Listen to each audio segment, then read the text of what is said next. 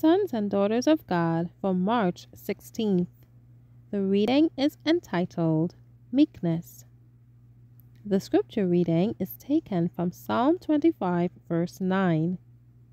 The meek will he guide in judgment, and the meek will he teach his way. You will have to learn the important lesson of what it is to be a man in the sight of God. It is to be like Jesus meek and lowly of heart, to guard the interests of others more sacredly than you would your own.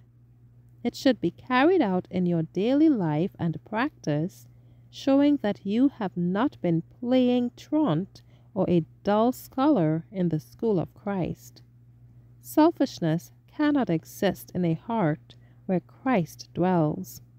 If cherished, it will crowd out everything besides. It will lead you to follow inclination rather than duty, rather than duty, to make self the subject of thought, and to gratify and indulge yourself, instead of seeking to be a blessing to others. Your wants, your pleasures, will come before everything else. True happiness is to be found not in self indulgence and self pleasing, but in learning of Christ.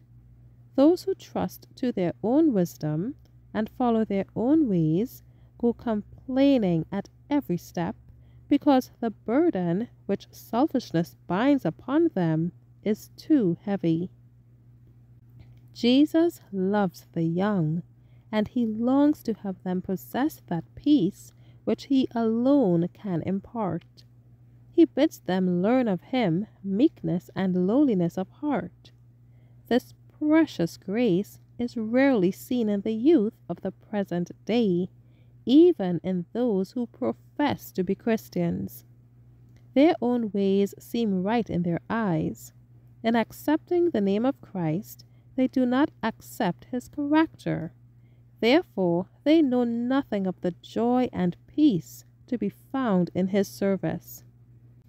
The meekness of Christ manifested in the home will make the inmates happy. It provokes no quarrel, gives back no angry answer, but soothes the irritated temper and diffuses a gentleness that is felt by all within its charmed circle. Wherever cherished, it makes the families of earth a part of the one great family above. Thank you for listening.